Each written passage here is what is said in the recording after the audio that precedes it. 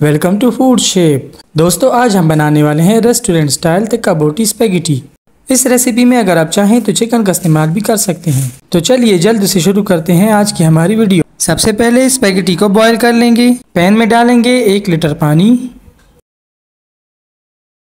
One teaspoon oil या घी 400 gram spaghetti एक टीस्पून नमक।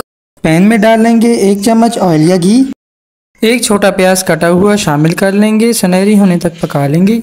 पके हुए प्याज को अलग कर लें। एक टीस्पून लहसुन सुनहरी होने तक पका लें।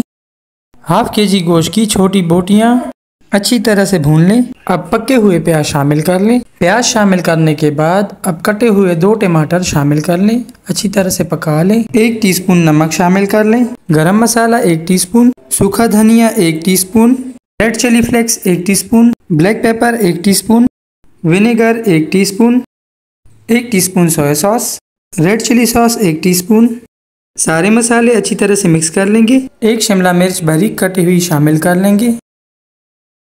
आधा कप पानी डालकर ढक लेंगे। पाँच मिनट तक पकने देंगे। इंग्रेडिएंट्स अच्छी तरह से पक चुके हैं, बिल्कुल तैयार हैं। बॉईल किए गए स्पैगेटी को अब हम शामिल कर लेंगे। अच्छी तरह से मिक्स कर लेंगे। स्पैगेटी बिल्कुल तैयार है। एक बार ज़रूर ट्राई करें, ज़रूर बनाएँ। बहुत ही मज़ेदार रेसिपी है। वीडियो अगर अच्छी लगी हो तो वीडियो को लाइक कर लीजिए। चैनल पर नए आए हैं तो चैनल को सब्सक्राइब कर दीजिए।